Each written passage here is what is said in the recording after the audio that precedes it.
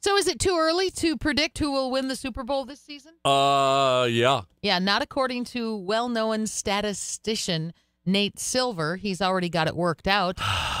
According Great. to his calculations, the Seattle Seahawks are the Mhm. favorites. Well, it's a good Yeah. calculation. with Yeah. a 15% chance. Uh, also, and we can see Okay, the same. but by the way, What? let's just say when I say yes, it's too early.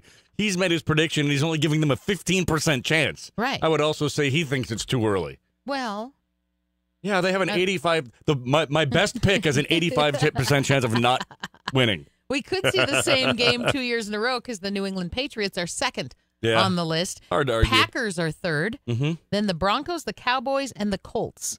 On the other end of the list, seven teams that he says has less than a one. They have less than a one percent chance. Right. The Tennessee Titans, followed by the Jaguars, the Redskins, the Buccaneers, the Raiders, the Bears, and the Browns. So you're saying they have a chance.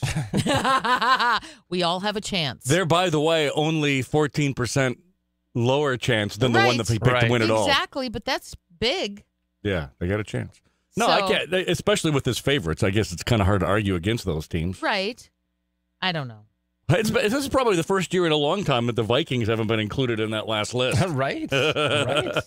Because we have a two percent chance. I don't know. Well, I don't know. Let me look. See if I'm just a excited for it to start. whole list here. I know we talked about this. Where are you, Jim, on the I'm staying up and watching the game or not staying up and watching the game Monday night? I will stay up. I'm, I'm, I'll watch the kickoff for Yeah. sure. I'll probably watch the first quarter, get a gauge on how it's going, and if it's a tight game and I think we're playing well, you know, maybe I'll kind of fudge my bedtime a little bit. I'll never make it to the end. You're mean, exactly in the same place I am. Yeah. Oh, I'm thinking about it. I'm uh, I'm not going to say I'll never make it to the edge, but there is a less than one percent chance that Yeah. I'll make it to the end. the end of the game. And you? won't. I, I won't make it. I, I might watch the first quarter. We'll That's see. I what I'm went from No I won't way. even see the kickoff to Right. now. I might It's watch kinda- the get first quarter. excited. I am excited. I like watching the Vikings. The key is no beer. Oh, Uh, because is if I have a beer or it two, is? then I'm sound asleep. well, thanks Yeah. for throwing that out for me because you know me. I'd have been chugging those Well, down and don't like think this is crazy. I wouldn't even known who was playing. not the last time I'm going to have to remind you either. I'm sure. okay. Go to the beer festival tomorrow and get all crazy. I'm like, oh, I want you some. know me.